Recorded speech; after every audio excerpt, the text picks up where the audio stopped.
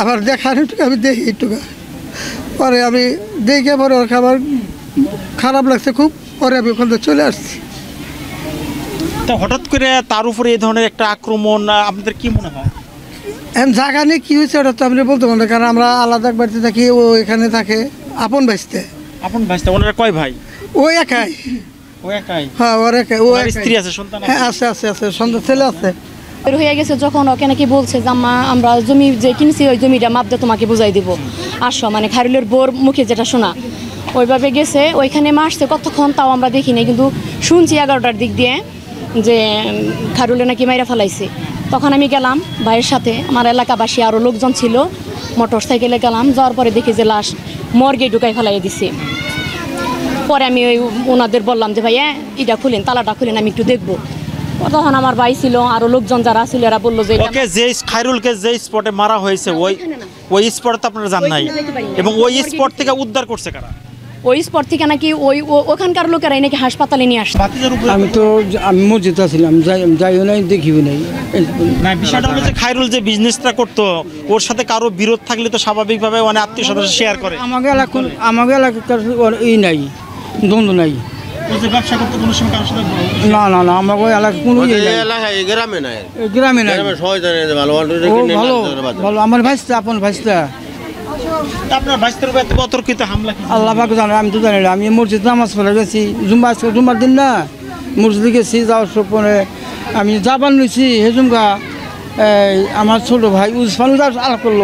ওইতে বলল যে খালি মাইরা হলাইছে সে ঘুমে থেকে উঠে খালি মুখটা ধুয়ে বাথরুমে গেছে বলছে যে বিলকিস তুমি আমার ডাক দেও না। আমি কই না।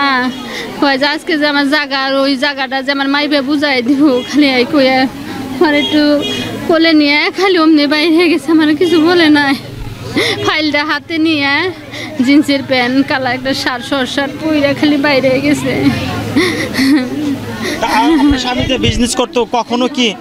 কখনো কি আপনার সাথে কোনো বিষয় শেয়ার করতো? কারোর সাথে দ্বন্দ্ব থাকলে কোনো সময় শেয়ার করতো এমনি তো এর সাথে তেমন দ্বন্দ্ব আসাল না। এই ভালো মানুষ আসাল সবার সাথে ব্যবহার ভালো। হাসি খুশি সব সময় হেসে থাকছে। আপনার কাছে কোনো শঙ্কা প্রকাশ করতো না কখনো যে কোনো ধরনের? না দাদা তুমি জানি কোনো সময় শঙ্কা প্রকাশ করতো না? মানে একটু ভয় কিংবা না ভয়ের কথা তেম- তেমন কিছু বলে না। সে ভয় পায় না সে সব সময় ভেবে চলছে? অনেক সময় তো স্ত্রীকেও বলে যে আমি এরকম একটা ঝামেলার মধ্যে আছি তোমরা বিষয়টা একটু মাথায় রাখো। না না অন্য কিছু হয় না তো ওই জায়গার কথাই খালি বই লাগেছে। যে আমার জায়গা আজকে আমার মাইফা দিব জায়গা যারা মাইপা দিব তাদের নাম জানেন আমি কিছু তাদেরকে আপনি চিনেন। আপনার স্বামী জায়গা কিনলো আপনি কোনো কিছু জানেন না কিংবা আপনার কাছে বলেন নাই কোনো। তাদেরকে ওই পার্টিকেও আপনি চিনেন না।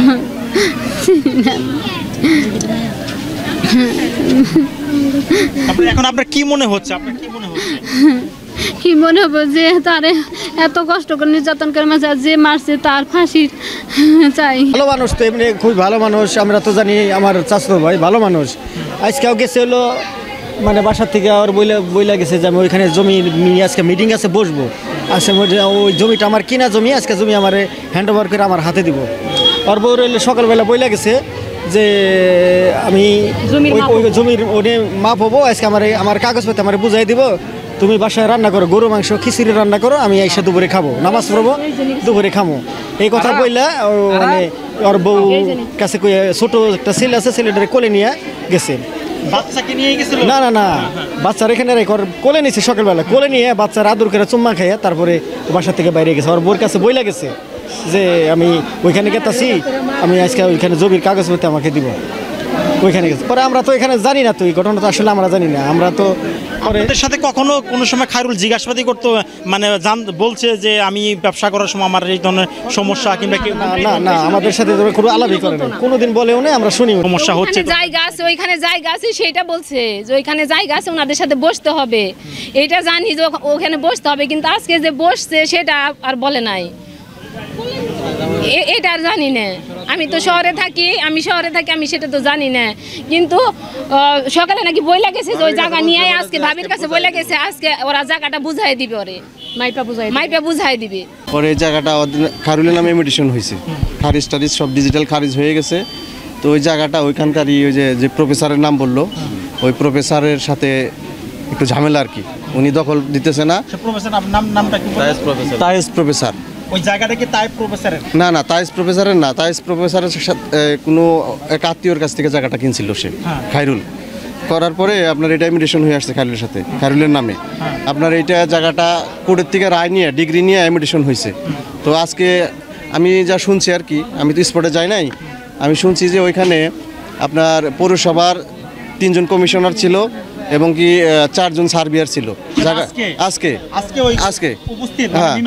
মীমাংসা ক্ষেত্রে। তো ওইখানে আমাদের আহ, ইয়ে ছিল আপনার ওই যে মহিলা মহিলা যে আপনার কমিশনার আছে না ওনার ওনার নামটা হলো নামটা আমি ভুলে গেছি উনি ছিল বিউটি বিউটি আপা। উনি উনি খায়রুলের খায়রুলের ডেড বডিটা উনি নিয়ে আসছে হসপিটালে। ঠিক আছে? তো আজকে মাই মাইপা বুঝ দেওয়ার কথা ছিল পৌরসভার তিনজন কমিশনার ছিল মহিলা কমিশনার বিউটি আপা ছিল এবং কি পৌরসভার সার্বিয়ার ছিল চারজন। তো এই জায়গাটা আজকে ওনাকে বুঝ- বুঝিয়ে দেওয়ার কথা বলে ওনাকে বাসার থেকে ফোন করে ডাইকে নিয়ে গেছে। সকাল দশটায় উনি বাসার থেকে বের হয়ে গেছে। আমরা সাড়ে এগারোটার দিকে খবর শুনছি যে ওনাকে এরকম কুপিয়ে হত্যা করে হসপিটালে রাখছে। পরা, পরে আমরা এখান থেকে গিয়ে দেখি যে ঘটনা সত্য, ওনার লাশ দেখতে পাইলাম, এটুকুই জানি। হাসপাতালে যা ওনার যে বডিটা দেখছেন বডিটা কোথায় কোথায় আঘাত ছিল? বডিতে ওনার আমি তো ছিলাম সুরত হালের ওইখানে যে তদন্ত অফিসার ছিল, ওনার সাথে আমি ছিলাম। তো ওইখানে ওনার মোট মাথায় তিনটা আঘাত গলা এখানে এখানে গলার মধ্যে আঘাত আছে, বড় ধরনের একটা। এখানে একটা আঘাত আছে, এই সাইডে আর এখানে স্টেপ করে ভুড়ি বের করে ফেলাইছে। আর পিছনেও আঘাত আছে। পরিকল্পিতভাবে, সম্পূর্ণ পরিকল্পিতভাবে হত্যাটা হয়েছে। তো আমাদের একটাই দাবি, এই ফ্যামিলির পক্ষ থেকে, প্রশাসনের কাছে এটা সঠিক তদন্ত করে, সঠিক আসামি নির্ণয় করে, এদেরকে অতি শীঘ্রই আইনের আওতায় আনার জন্য দাবি জানাচ্ছি। খায়রুল ব্যবসা করতো জমির। সকাল নয়টার সময় বাসার থেকে বের হয়ে গেছে। সন্ধ্যায় ফিরল লাশ হয়ে। মাঝখানে কয়েকটি ঘণ্টা আসলে কি ঘটেছিল? খায়রুলকে ডেকে নিয়ে গেছে বাড়িতে থেকে। এবং খায়রুল যখন বাড়িতে থেকে যায়, তখন কিন্তু তার ছোট্ট বাচ্চাটাকে আদর করে যায়, এমনটা বলছিলেন। কিন্তু খায়রুল কি জানতো যে তার কাছে লাশ হয়ে ফিরতে হবে? ঘটনা কিন্তু সত্যি। যখন জমির ব্যবসা করতো, আমরা জানি যে টাঙ্গাইলে কিন্তু দীর্ঘদিন ধরে হত্যা এবং ঘুম এ ধরনের কিন্তু ঘটনা খুব একটি প্রকাশ পায়নি। কিন্তু ইদানিং আমরা দেখতে পাচ্ছি যে পরপর বেশ কয়েকটি ঘটনায় কিন্তু ঘটে গেল। কেউ গুম হচ্ছে, কেউ ঘুম হচ্ছে। কিন্তু প্রশাসন আসলে কি করছে, সেটাই কিন্তু দেখার বিষয়।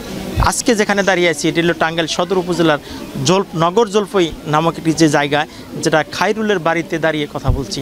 খাইরুলের স্ত্রী বলছিলেন যে, আমার স্বামী যখন বিজনেস করতেন, তখন কিন্তু স্বাভাবিকভাবে কারোর সাথে কোনো দ্বন্দ্ব ছিল না, কারোর সাথে কোনো ঝগড়া ফ্যাসাদ ছিল না। কিন্তু কাউকে কোনো কিছু বলেও যায়নি, শুধু বলছে, জমি মাপার জন্য আমি চলে যাচ্ছি কোদালিয়াতে কোদালিয়াতে কি হলো আসলে? এমন কি হলো? এবং এটাও আমরা জানতে পারলাম যে, সেখানে পরপর তিনজন কাউন্সিলর উপস্থিত ছিল। তিনজন কাউন্সিলর যদি উপস্থিত থাকে, পৌরসভার সার্ভিয়ার যদি উপস্থিত থাকে, তাহলে এতগুলো লোক উপস্থিত থাকার পরে এত বড় একটি ন্যাক্কার জন্য ঘটনা আসলে কীভাবে ঘটলো? এটাও কিন্তু একটু প্রশ্ন রয়ে গেছে। আমরাও সেটা উত্তর খোঁজার জন্য আমরা বিভিন্ন তথ্য সংগ্রহ করার চেষ্টা করব এবং আমরাও জানতে চাবো যে খাইরুলকে নির্মমভাবে যারা কুপিয়ে হত্যা করছে, তাদেরকে আইনের দৃষ্টান্তমূলক শাস্তি গ্রহণ প্রশাসন দেখ এবং দ্রুত তাদেরকে গ্রেপ্তার করা হোক।